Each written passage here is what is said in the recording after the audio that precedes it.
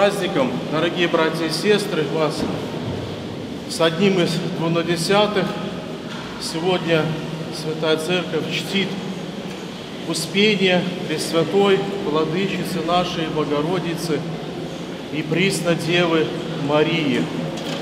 Это праздник, который собирает множество людей, множество молящихся, верующих, сомневающихся, приходящих и только ищущих свой путь, потому что Пресвятая Богородица во, свое, во своем успении не оставила этого мира, как поется в молитве ей. В Рождестве Девса сохранила Иси, в успении мира не оставила Иси. Поэтому сегодня мы с вами приходим к плащанице Пресвятой Богородицы, как некогда апостолы.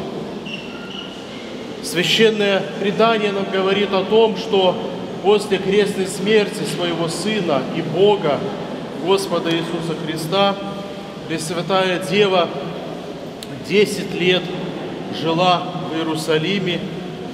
О ней заботился святой апостол Иоанн Богослов, когда, помните, при кресте «Мать все сын твой, жено, и сыне все мати твоя». Вот апостол Иоанн Богослов заботился о ней, когда пребывал в Иерусалиме. И апостолы в то время, когда приходили в Иерусалим после своих апостольских путешествий, проповеди по городам, странам, весим, они всегда приходили в дом к Богородице, где вместе с ней разделяли молитву и, конечно же, и спрашивали ее благословением, ее советов, ее наставлений. И так вот продолжалось несколько лет. Пресвятая Богородица была столпом и утверждением истины Церкви и самих апостолов.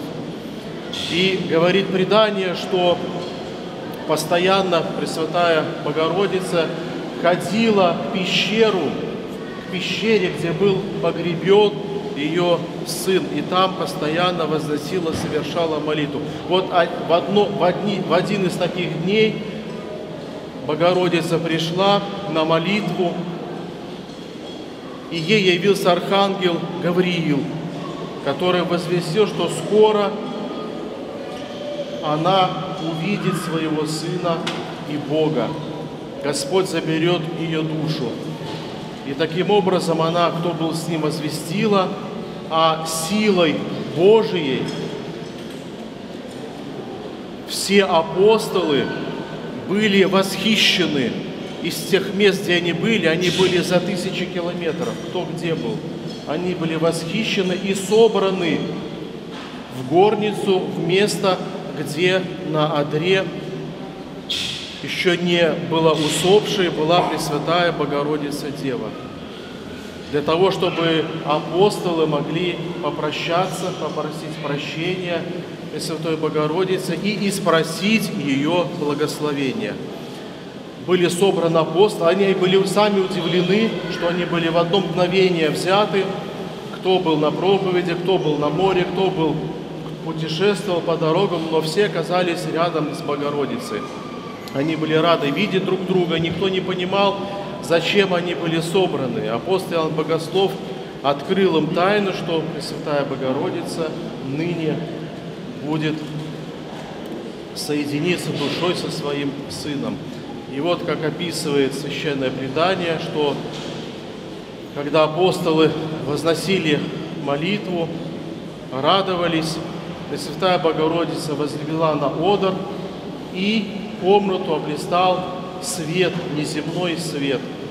Явился сам Господь Иисус Христос, который принял в свои руки святую, безгрешную душу Пресвятой Владычицы, своей Матери. Такое было успение. Затем апостолы, взяв тело Пресвятой Богородицы, шествовали в Гефсиманский сад через Иерусалим – и здесь тоже не обошлось без чудес. И облако, благодатное облако сопровождало это шествие. Апостолы несли на своих руках тело Пресвятой Владычицы Богородицы. И предание говорит, что был некий Афоний, который хотел оборонить гроб с телом Пресвятой Богородицы, но невидимый ангел отсек руки этому Афонию. Конечно же, он раскаялся, этот Афоний, покаялся. Апостолы тут же совершили исцеление молитвам, благословением Пресвятой Богородицы. Руки у него зажили, и он пошел вместе с апостолами. А вокруг этой процессии фарисеи хотели э, всех разогнать эту процессию похоронную, но облако святое опустилось, и все шествующие были невидимы для всех злопышущих и завидных фарисеев. Когда пришли на место, погребли Пресвятую Богородицу, и только один апостол не был на погребении, это апостол Фома. Апостол Фома не был восхищен к адру Пресвятой Богородицы, апостол Фома появился уже на третий день Успения Пресвятой Богородицы. Когда он слезно просил хотел попрощаться с Богородицей, увидеть ее тело, облобызать ее святое тело, пришли к гробу, открыли гроб, и тело Пресвятой Владычицы в гробе не оказалось. Она воскресла ее Сын, Господь наш Иисус Христос, воскресил тело Пресвятой Владычицы Богородицы.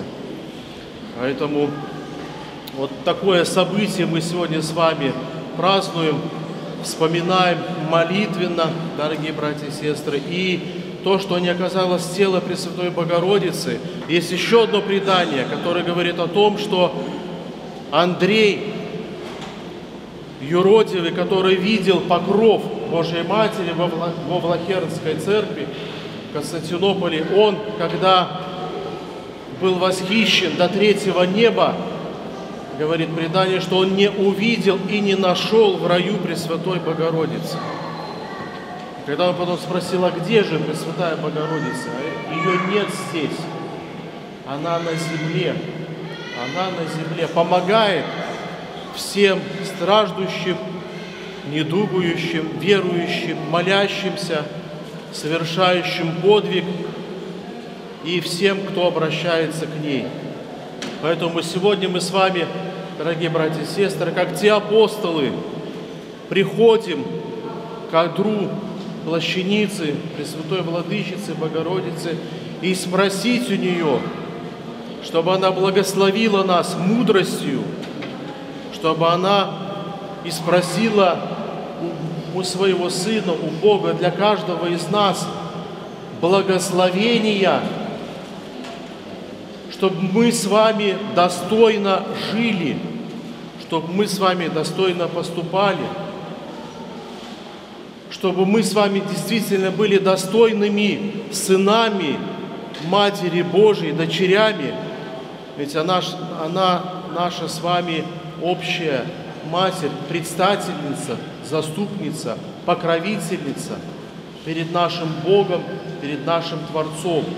Поэтому сегодня, подходя к плащанице, и спросим со смирением,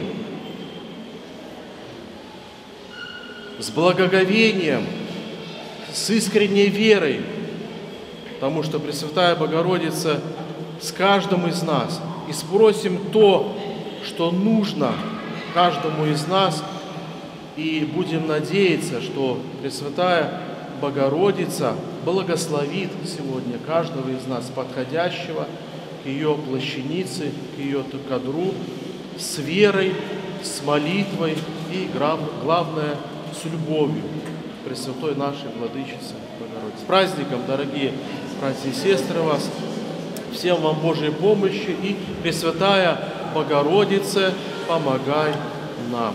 Сегодня вечером всех вас сердечно приглашаем в 17.00 на вечернее богослужение с чином погребения Святой Плащаницы нашей Богородицы.